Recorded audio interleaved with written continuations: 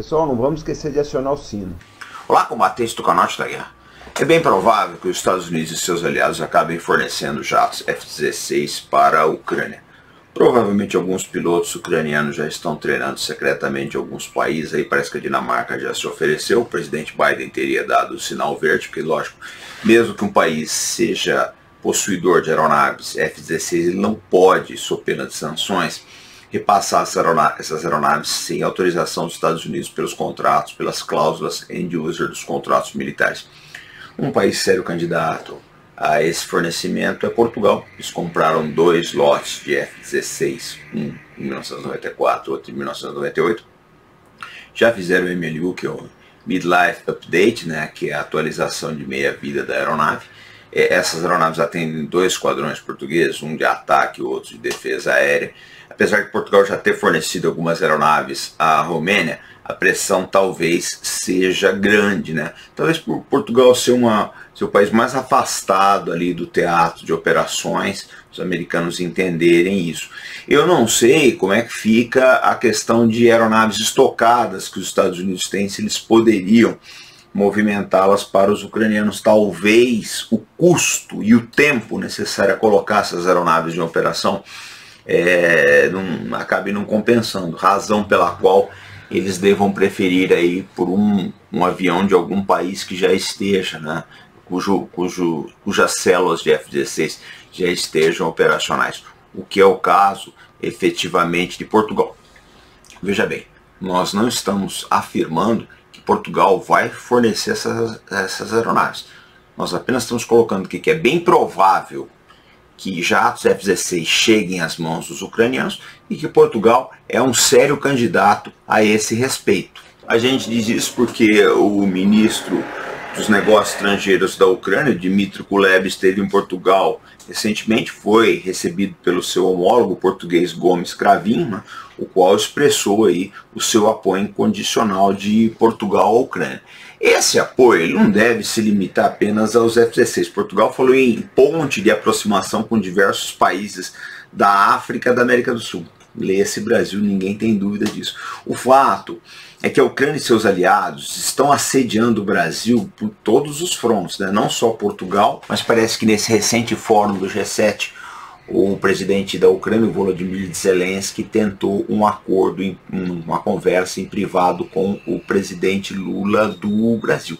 Para a Ucrânia seria muito importante uma aproximação do Brasil nesse sentido. Por quê? Porque o Brasil, de todos os players dos BRICS, né, é o que está assim mais em cima do muro. Então seria muito importante isso, mas bem pouco provável, bem pouco provável que o presidente Lula tome uma posição assertiva a favor né, do, do, de um lado ou de outro. A gente sabe das preferências dele pelos BRICS, mas é uma situação efetivamente delicada.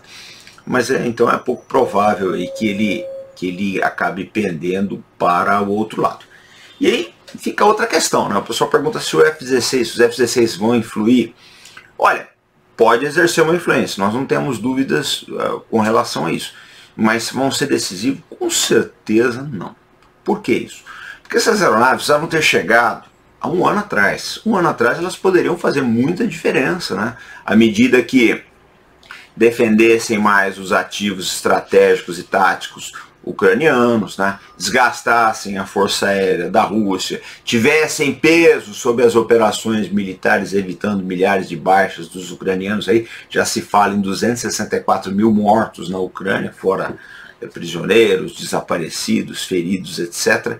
Então essas aeronaves elas poderiam é, ter um peso muito maior aí na guerra há um ano atrás. Agora fica meio difícil. Por quê? Porque o desgaste tanto do exército quanto da infraestrutura ucraniana é enorme. E não obstante o que a imprensa diga, eu já vi muitas das análises aí que eu considero todas furadas. Gente falando que a Ucrânia está resistindo por isso, por aquilo. Olha, independente da bravura do exército ucraniano, não se pode ser negado, que está fazendo a Ucrânia ficar de pé a ajuda ocidental. Se essa ajuda for retirada, ela cai. Isso aconteceu com o Vietnã do Sul. Em 1975, quando o Congresso americano cortou ajuda, o país caiu em meses, e isso aconteceu também com o governo de Cabul no Afeganistão. Quando os Estados Unidos falaram a gente não vai dar mais suporte, O governo foi em questão de, de horas, durou horas. Então a situação da Ucrânia, não tenham dúvidas quanto a isso. Por mais que a imprensa fale que vai tudo bem, etc., a realidade da questão ucraniana é essa. Ela fica de pé, independente da bravura dos seus soldados, mas por mais corajoso e hábil que um soldado seja, ele não luta sem mísseis, sem comida, sem todos os tipos de munição, combustível, etc., que é isso que o Ocidente fornece para a Ucrânia. A infraestrutura ucraniana está quase que totalmente destruído. O país está numa situação assim, se eles tivessem feito um acordo de um acordo aí com a Rússia há um ano e meio atrás, né, o país teria evitado grandes prejuízos. Eles vão acabar tendo que fazer um acordo mais cedo ou mais tarde, com a diferença que agora tem um país para reconstruir nas mãos. Ou seja, o presidente Zelensky ele foi um desastre em todos os aspectos que se pode se imaginar. Não estou nem dizendo quem tem razão nessa história que deixa de ter mas ele não tinha condições materiais de enfrentar um gigante como a Rússia. É uma realidade. Por mais que ele desgaste a Rússia, dificilmente ele vai recuperar os territórios. E mesmo que os recupere, vai levar gerações ainda para a Ucrânia voltar a ser o que era no ano de 2021. Então essa guerra foi, na verdade, foi um desastre para a Ucrânia. Aí tem gente que vai argumentar, é um desastre para a Rússia? Sim, mas não é nas, nas mesmas proporções. Isso nós precisamos olhar. Nós precisamos trabalhar sempre no sentido de analisar qual seria a melhor decisão naquele momento. A melhor decisão para o presidente Volodymyr Zelensky no final de 2021, início de 2022, seria negociar algum tipo de acordo com a Rússia, porque ele vai ter que acabar fazendo isso mais cedo ou mais tarde, ou ele ou seu sucessor, se ele conseguir chegar no final do mandato dele, vão ter que negociar com o país destruído. Naquela época, embora com certeza a Rússia exigisse algumas concessões, eles pelo menos preservariam toda a infraestrutura da Ucrânia e não teríamos os milhares de mortos né, nos meses que se seguiram. Bom, gente, na nossa lista de desejos que se encontra aqui na descrição do vídeo, vocês acham aí muitos livros sobre a guerra da Ucrânia. E eu lembro o seguinte, os livros entregues pelo, pelo sistema de entregas da Amazon chegam bastante, de forma bastante rápida, tá?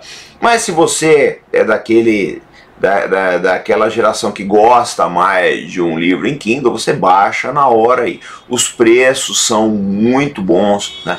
os temas bastante atualizados e vão dar um quadro muito claro para vocês do que acontece na guerra da Ucrânia. E eu lembro que todas as vezes que vocês compram livros e outros itens na Amazon, vocês estão ajudando o canal Arte da Guerra.